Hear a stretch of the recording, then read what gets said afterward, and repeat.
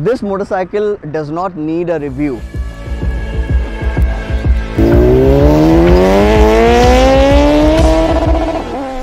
The only reason Suzuki is giving motorcycles for reviews is perhaps because they want somewhere uh, two three decades down the line when everyone is uh, riding washing machines on wheels also known as uh, electric vehicles they have something to look back and see what real motorcycles actually felt like what they looked like and how they went i have uh, somewhere over 1200 kilometers in in the past two days so this would be a real world review and I would be telling you all about it once I get on the motorcycle and then I'll be talking to you. So let's ride.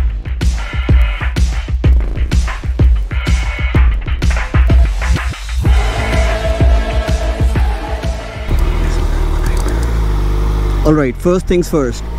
By now you would already know that this is more or less the same Hayabusa, the Gen 2 Hayabusa with a comprehensive suite of electronics.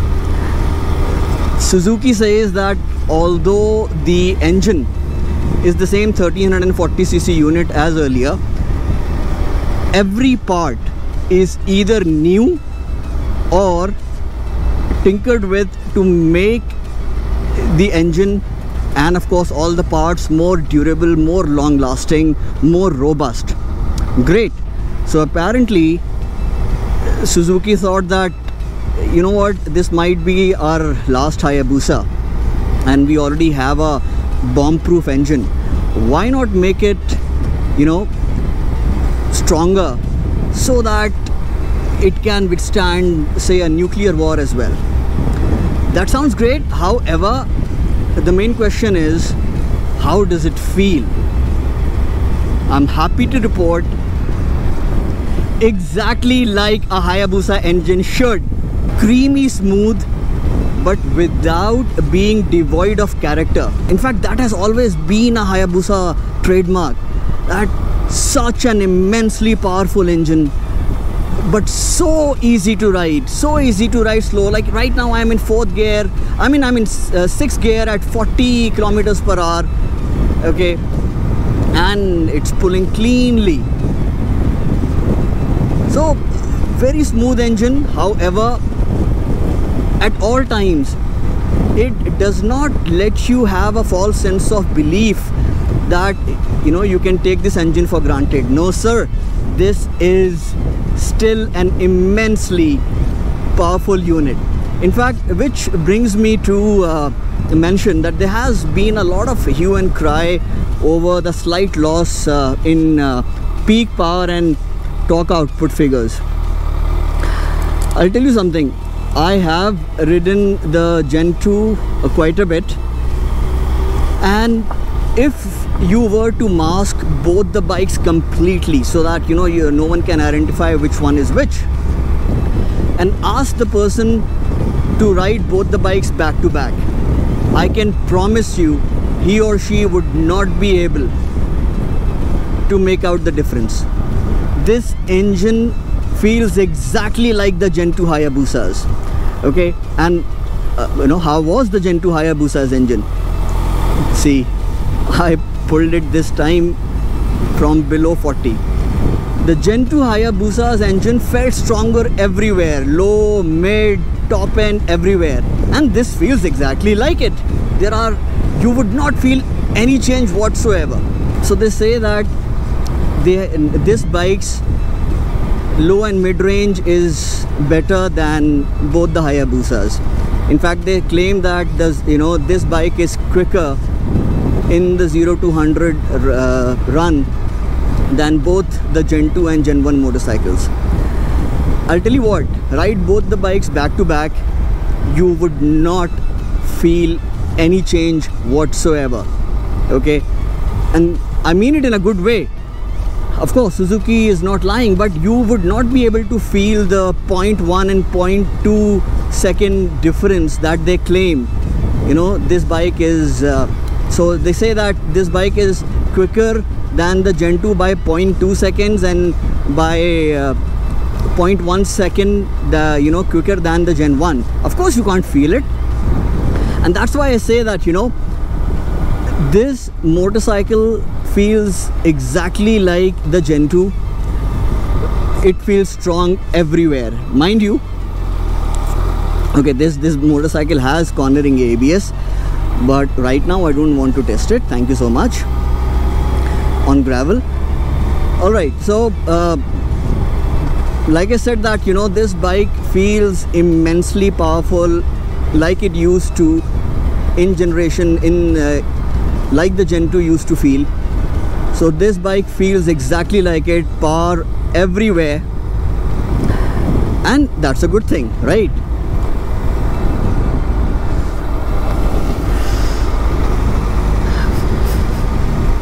any irrespective of the gear you are in irrespective of you know what kilometers per hour miles per hour you are doing you know you you do not have to downshift. And it just goes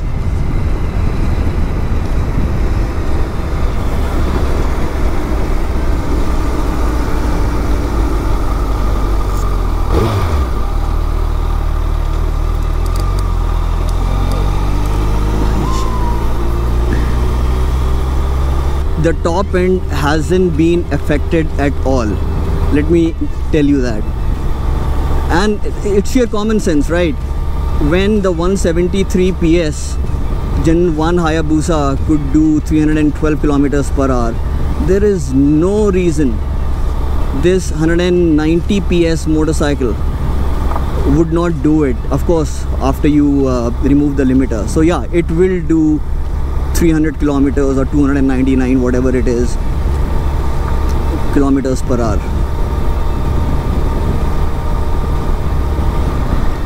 All right so uh, now let me tell you about the handling. And before I tell you about the handling let me confess something. So as a habit I do not watch or read reviews of uh, the motorcycle that I'm about to review because I feel that it might influence my review sub, uh, you know subconsciously. I might be following the same thought. But this time I you know could not hold for long. And I watched every review because I really wanted to see what the new motorcycle is like. Thankfully though it has not affected my uh, observations at all. And I and I uh, and I'll give you a reason for that as well so of you know all the reviews that I saw not one has mentioned that you know the steering geometry has changed. In fact after the gen 1 Suzuki has been continually sharpening the steering geometry. So gen 2 as compared to gen 1 had steeper rake and trail. This has even sharper steering geometry. So this is the most aggressive Hayabusa yet as far as steering geometry is concerned. However, Gen 1 to Gen 2 the difference was significant. And you could actually feel that you know this uh, the, the, you know as compared to Gen 1 Gen 2 Busa was a much sharper handling motorcycle. It is decide you know it is certainly a better handling motorcycle than Gen 1 however the difference in steering geometry between Gen 2 and Gen 3 is negligible and I can promise you that unless you are Alex Rins, which of course you're not you would not be able to make out the difference. You would not be able to feel the difference.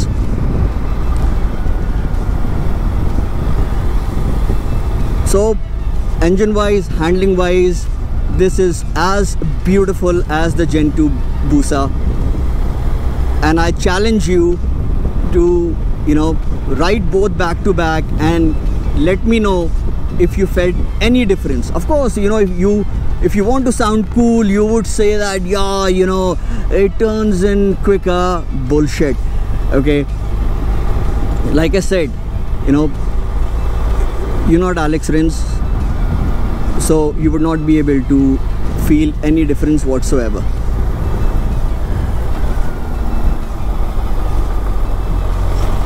what you would most certainly notice is the exceptional ride quality and that's you know that's saying something because Gen 2's ride quality was good to begin with.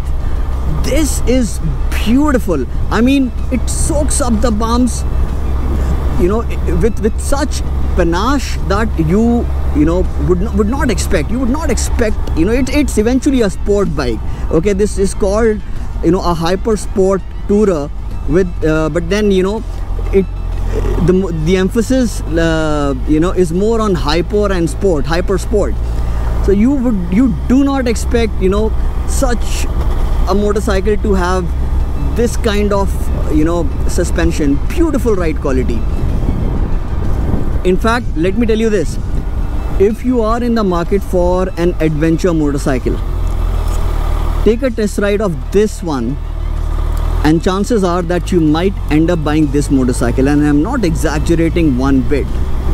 It's that good. What else? The seat is uh, pretty comfortable as well. In fact it's more comfortable than Gen 2 saddle. This is a more comfortable seat. Your bums would be happy you know.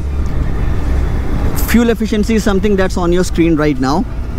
What else brakes the brakes are excellent. Of course now it gets uh, top shelf Brembo Stylema and brakes have all had always been you know the underwhelming part of the Hayabusa. Now Suzuki has fixed it. Heat management is quite good. In fact today the weather is brilliant. Yesterday and day before when I did that uh, 1200 kilometers trip okay it was uh, you know in excess of 41 42 degrees celsius. And the bike took it quite well. I did not. The the bike took it quite well. Okay the needle did not go past the half mark. Okay so full marks to suzuki on that. And i think that pretty much sums it again do let me know if you have questions. Please do subscribe if you haven't. And I'm using the quick shifter as you can see. Alright guys I'll uh, see you soon. You may hang around. Now I'll just ride and shut the fuck up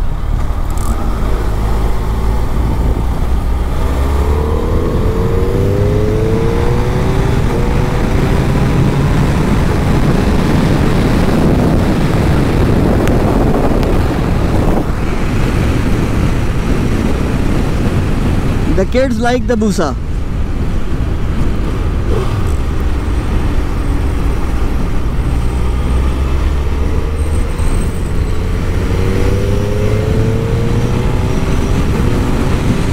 And I am a kid as well.